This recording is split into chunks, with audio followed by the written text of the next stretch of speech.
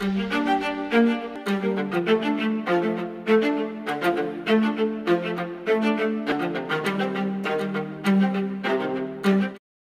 El ple d'Amposta aprovarà este dilluns iniciar l'expedient per a declarar bé cultural d'interès local la zona coneguda com les antigues ruïnes de Santa Susana. L'alcalde Adam Tomàs ha explicat que l'Ajuntament treballa amb un projecte per realitzar excavacions i també fer visitable l'espai amb un cost de 300.000 euros, amb l'objectiu de poder accedir a subvencions, però també per aconseguir la seva catalogació com a bé cultural d'interès nacional.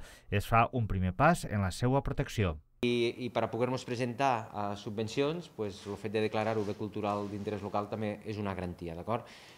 Eh, este, esta part està dins d'un expedient més gran que estem treballant en el Departament de Cultura de la Generalitat de Catalunya per a catalogar com a bé cultural d'interès nacional tot el que és eh, la part de, del pont hasta, hasta el que era l'antiga enclusa del, del canal navegable Carlos III però això és algo que està a poc a poc i que per tant el que fem ara és avançar-nos una miqueta per poder garantir pues, que quan surtiguen subvencions de l'Estat, en aquest cas, per a béns culturals d'interès local, tenir-lo ja catalogat i que pugui entrar dins de la línia de, de subvencions. En el ple, el govern d'Esquerra d'Amposta també portarà a aprovació una modificació del pressupost de 136.000 euros. Tomàs ha explicat que aquests recursos han de permetre tirar endavant millores al cementeri municipal, a l'Escola Consol Ferrer o a l'Oficina d'Atenció al Ciutadà, que es troba al vestíbul de l'Ajuntament.